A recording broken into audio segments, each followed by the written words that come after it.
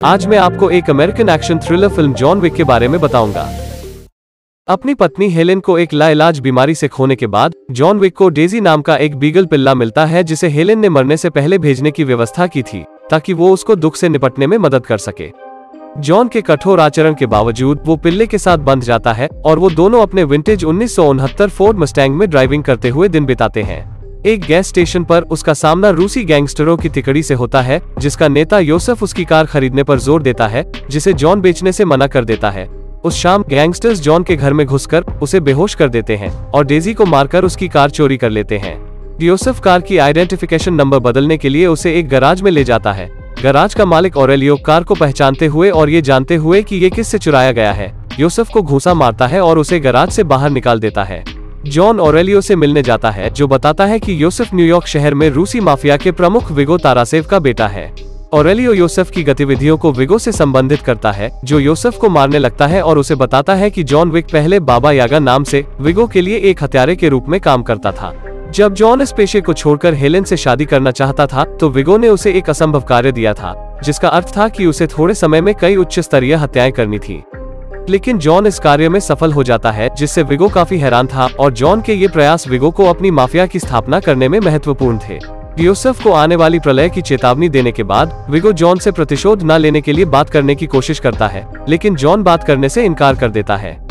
विगो John के घर hitman की एक टीम भेजता है, लेकिन जॉन उन सभी को मार देता है और शवों और सबूतों को ठिकाने लगा देता है। ये सुनकर विगो बिल्कुल भी हैरान नहीं है और जॉन के सिर पर दो मिलियन डॉलर का इनाम रखता है। और व्यक्तिगत रूप से जॉन के उस्ताद मार्कस को जॉन को मारने का कॉन्ट्रैक्ट देता है, जिसे वो स्वीकार कर लेता है।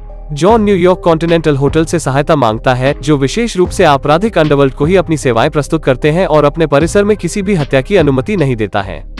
जॉन को मारने के लिए, इस नियम को तोड़ने के इच्छुक लोगों के लिए विगो ने इनाम को दोगुना कर दिया। कॉन्टिनेंटल का मैनेजर, विंस्टन, जॉन को सूचित करता है कि, विगो के रेड सर्कल नाइट क्लब में योसफ को सुरक्षा घेरे में रखा गया है। जॉन रेड सर्कल में प्रवेश करता है और योसफ तक पहुँचने के लिए विगो के आदमियों की एक भीड़ से लड़ता है। विगो का लेफ्टिनेंट किरल जॉन के प्रयास को विफल करता है और योसफ को वहाँ से बचा लेता है। जॉन अपनी चोटों का इलाज कराने के लिए कॉन्टिनेंटल वापस चला जाता है।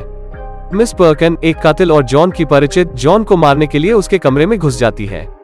मार्कस जॉन को चेतावनी देने के लिए गोली चलाता है, जिसके बाद जॉन पर्किंस को काबू में कर लेता है, जो जॉन को विगो का पता बताती है। वो उसे बेहोश कर देता है और कॉन्टिनेंटल में पर्किंस की सजा का इंतज़ार करने के लिए उसे अपने साथी और एक हत्यारे हैरी के साथ छोड़ देता है। लेकिन बाद में वो खुद को मुक्त कर लेती है और हैरी को मार देती है। जॉन लिटिल रूस में एक चर्च जाता है, जो विगो के मोर्चे के रूप में कार्य करता है और वहाँ उसके पैसों को जला देता है। जब विगो और उसके गुर्गे आते हैं तो जॉन उन पर घात लगाकर हमला करता है, लेकिन अंत में पकड़ा जाता है।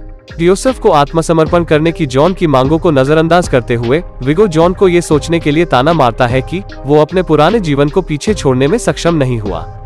इससे पहले वो जॉन को मारते, मार्कस फिर से हस्तक्षेप करता है और जॉन खुद को मुक्त कर लेता है और किरल को मौत के घाट उतार कर जॉन विगो को धमका के यूसुफ का पता लगाता है। जॉन फिर योसेफ के घर जाकर उसे और उसके अंग रक्षकों को मार देता है।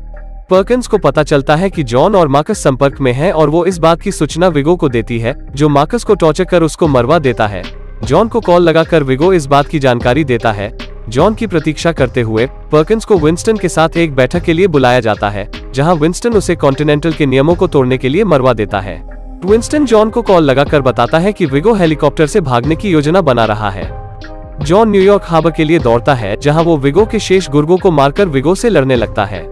विगो एक चाकू निकालता है, लेकिन जॉन खुद को उस चाकू से मार लेता है। विगो को निहत्था कर जॉन उससे घायल कर देता है और मरने के लिए छोड़ देता है।